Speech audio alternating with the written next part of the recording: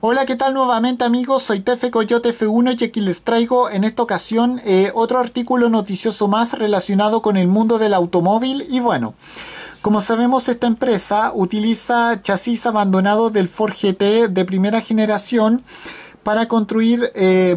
modelos que rinden honores al modelo GT40 de competición y bueno, como sabemos, los automóviles van a utilizar los eh, chasis del Ford GT de 2005, o sea, de la primera generación, que fueron desechados luego del final de su producción. Y bueno, vamos a hablar un poco de aquello. Bueno, como sabemos, el Ford GT del año 2005 es una leyenda, mientras que el último de la, de la franquicia obtuvo mucha atención por su exclusividad y el difícil proceso de reserva al cual tuvieron que hacer frente a los clientes. Eh, su antecesor es uno de los más recientes exponentes de los, eh, de los eh, supercoches con transmisión manual. Y bueno, si bien su producción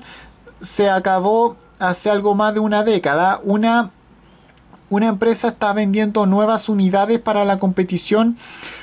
usando chasis desechados pero nuevos de este coche y bueno este nuevo automóvil se llama GT1 y cada unidad se construye sobre uno de los 30 bastidores restantes que poseen su poder esta marca que, está domiciliada en Pontiac, Michigan. Y bueno, aquello significa que su producción se limitará a, esos 30 eh, ejemplares, pero con un resultado salvaje. Y bueno, los clientes van a obtener... Eh,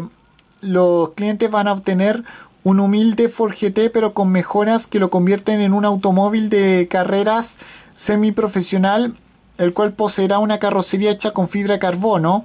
un gigantesco alerón y, eh, y componentes procedentes del equipo Mate Concept, quienes corrieron con este modelo en GT1 y GT3 durante los años 2000 y bueno, los apéndices aerodinámicos tampoco están ahí para posturear. Y bueno, este GT1 eh, posee,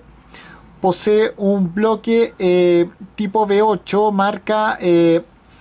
marca Rush Yates que tiene 427 pulgadas cúbicas y doble turbo compresor y bueno la compañía afirma que la entrega que, que tiene como potencia 1419 ve con la línea roja en las 9000 revoluciones por minuto, así que, así que se puede asegurar aquí que será brutalmente veloz y se necesitará mucho más mucho agarre y bueno. Lo, bueno es que también incorpora amortiguadores eh, Multimatic, marca eh, amortiguadores Multimatic eh, modelo DSSB de lo más de lo más sofisticado del mundo y fruto de la misma eh, firma que construyó el, el, Ford, el GT de la generación 2016. Bueno, el desarrollo eh, sigue el desarrollo y las pruebas de este GT1, pero esta compañía eh, asegura que se construirá en Oakland, Oakland, County, Michigan. Por el momento, los ejemplares se pueden reservar aquí en este sitio web y bueno, y con esto me despido, adiós, que fuera, chao.